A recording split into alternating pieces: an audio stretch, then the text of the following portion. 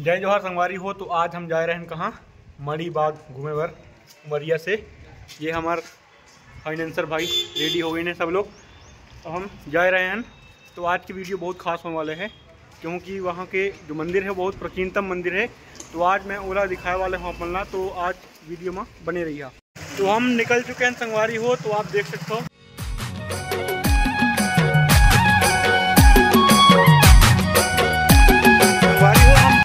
मंदिर पहुँच चुके हैं, जो कि मैं पहले वीडियो में आप मतलब दिखा चुके हूँ। अब हम जा रहे हैं कहाँ? मड़ी बाग जा रहे हैं। और थोड़ा यहाँ से पाँच किलोमीटर के लगभग दूरी में है। तो यहाँ तो हम घूम चुके हैं। और जो कोई भी नहीं देखो, ये तो आप पिछले वीडियो में आप जाके देख सकते हो।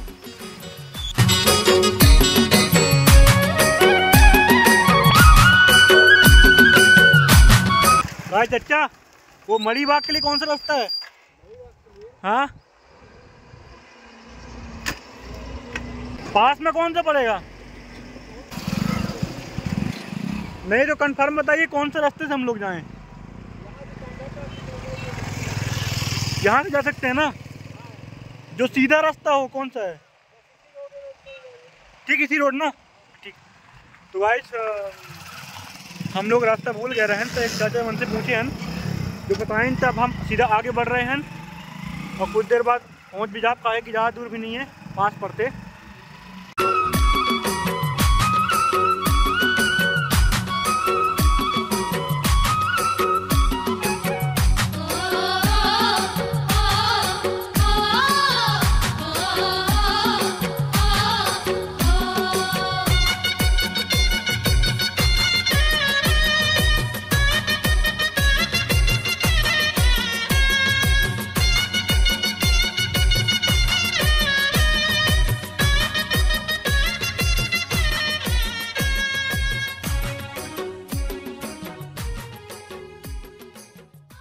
संगवारी हो, बहुत टाइम के बाद यार, पास में तो है, लेकिन हम रास्ता भूलत भूलत, भटकत भटकत बहुत टाइम के बाद यहाँ तक पहुँचे हैं। काफ़ी वक्त लग गए, लगभग लगभग हमें आधा घंटा लग गई यार। और यह हमारे पीछे आप देख सकते हो जी मड़ी बाग के दर्शन, प्राचीनतम मंदिर है। यहाँ की कितना शानदार व्यवस्था है यार, यहाँ आप देख सकते हो। बड़ा अच्छा लगता है यार। यहाँ पास में सबसे पहले तो ये एक कुआँ है। सबसे पहले मैं इला आप मतलब दिखावा चाहता हूँ काहे कि सबसे फ़र्स्ट में यही दिखी मोला।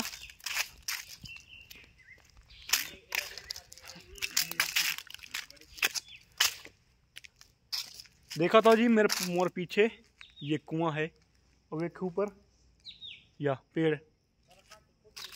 यहाँ से आप देख सकते हो, अंदर देखते हो यार तो बड़ा डर लगता मोला।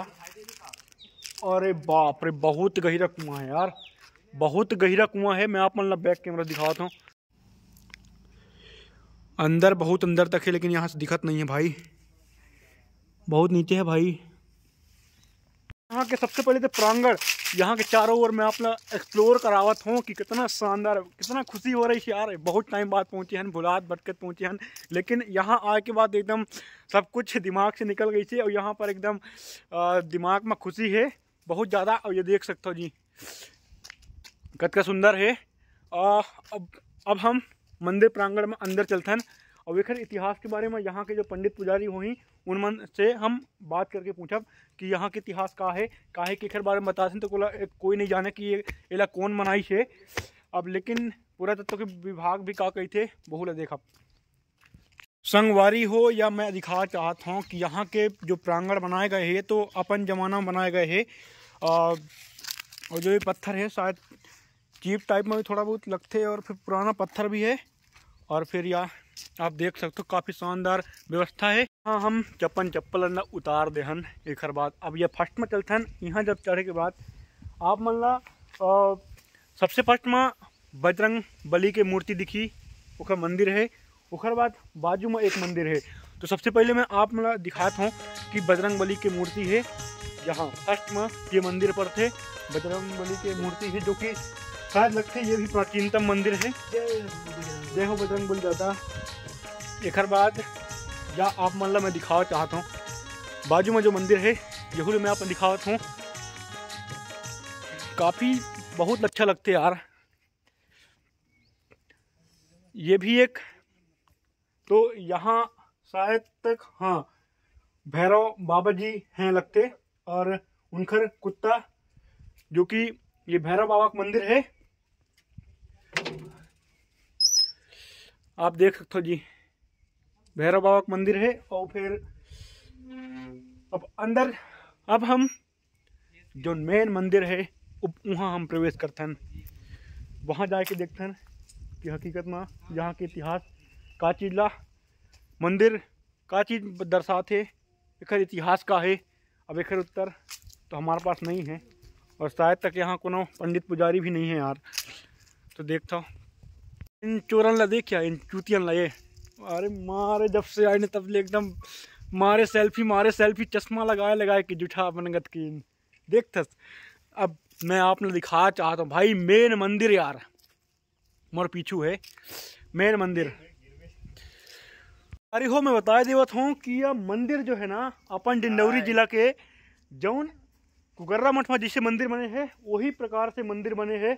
और यहाँ मैं देख रहे हूँ यहाँ कुछ सेक्सुअल मूर्ति भी है, जो कि हमारे भारत के खजुराहो में हैं। वैसे यहाँ सेक्सुअल मूर्ति भी है। अब यहाँ तो देख के यार बड़ा अच्छा लगता है यार मोला यार। ये फ़र्स्ट माँ, शेर, पहले द्वार में, और फिर यहाँ नंदी बाबा, है ना? और कुछ प्राचीनतम यहाँ, ये देख सकते हो जी। कितना सुंदर यहाँ के जो प्राचीनतम कलाकृति रही। सबसे पहले मैं बाहर के एक्सप्लोर कर रहा हूँ। और फिर ये भी शायद शेर, रहीस लगते मोला अच्छा समझ नहीं आते काहे कि खैर मुंडी उंडी सब टूट गई थी यार। ये, मैं पत्थर ला भी छू पा रहा हूँ भाई। सब कुछ। और यहाँ नाना प्रकार के बहुत सारे मूर्ति हैं, और फिर यहाँ सेक्सुअल मूर्ति भी है।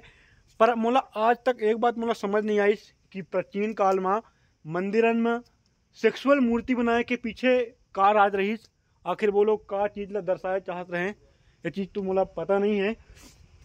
बाकी यहाँ जो देख रहे हैं, वही बस।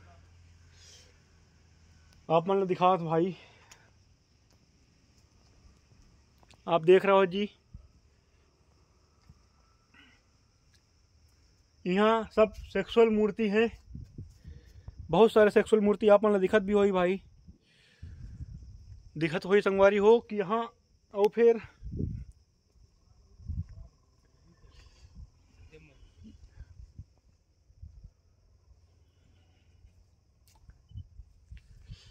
देखो जी, कितना ऊपर तक ऐसे करके देखना पड़ते यार हमला यार। बहुत ऊंच ऊंच। और लेकिन यहाँ के अब अंदर के मैं आप मतलब दिखावा चाहता हूँ कि अंदर के अंदर कितना कमरा मतलब कितना बड़ा जगह है?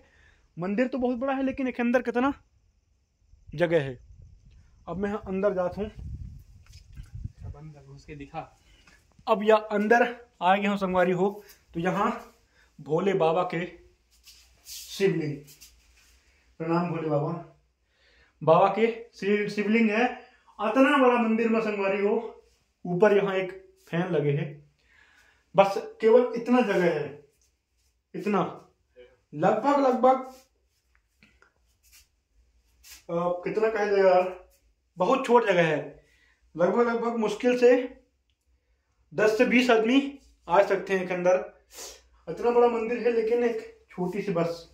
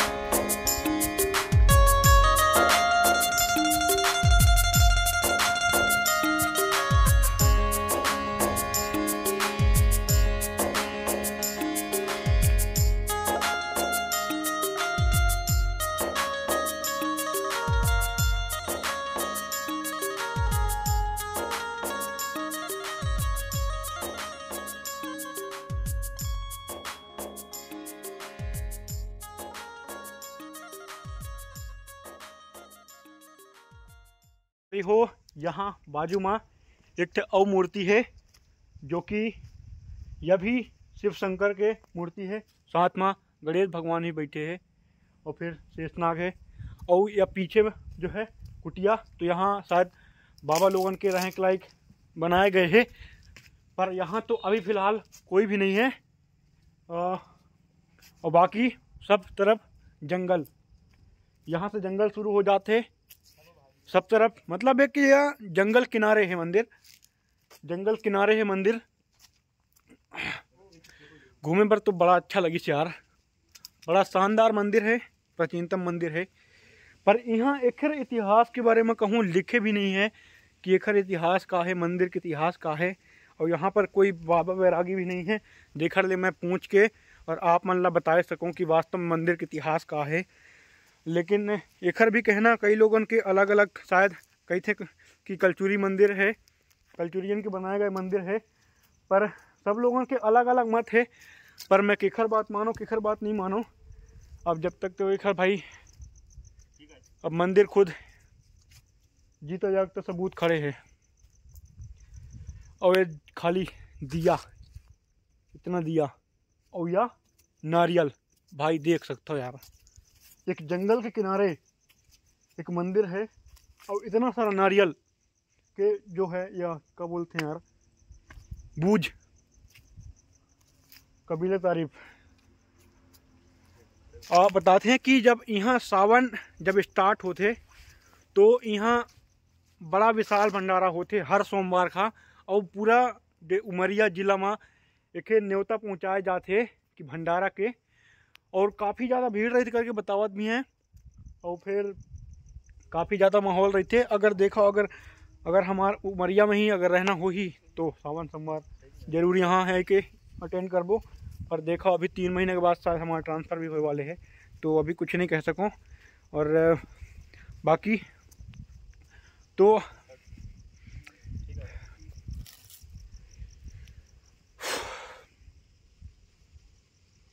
देखो जी, कितना शानदार है।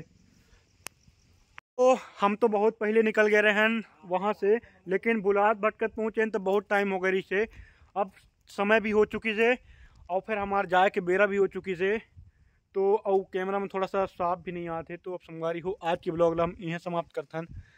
और यदि वीडियो पसंद आ हुई like comment share and subscribe सब कुछ कर दिया जी। और फिर भी लव एक नवा वीडियो में। अभी पास में एक सगरा मंदिर भी है, वहाँ भी जाएला बाकी है। पर वह हम अगले संडे जाब अगले संडे आप मतलब दिखाओ तो आज की ब्लॉग ला यहाँ समाप्त कर संगवारी हो। संगवारी हो, मैं आप मन ला जाते जाते बता देता हूँ कि यहाँ के रास्ते के बारे में। सबसे पहले आप मन उमरिया में, उमरिया से विकटगंज विकटगंज से सीधा डिंडौरी के रोड में। डिंडौरी रोड से कहाँ वहाँ आए में एक ग्रीन ढाबा पड़ते ग्रीन ढाबा से अंदर घुसे ला पड़ते अंदर घुसे के बाद फिर थोड़ा दूर से एक और रास्ता है। जी हाँ ले। फास्ट एक छोटा सा मोड़ है। वह रास्ता में आए के सीधा मंदिर। तो आप मन हाँ मैप मैप की सहायता भी ले सकता। बड़ा आसानी से यहाँ तक पहुँच सकता जी। तो जय जोहार। अब इंतज़ार करिए फिर एक नवा वीडियो के। अब इन्हें समाप्त करते हैं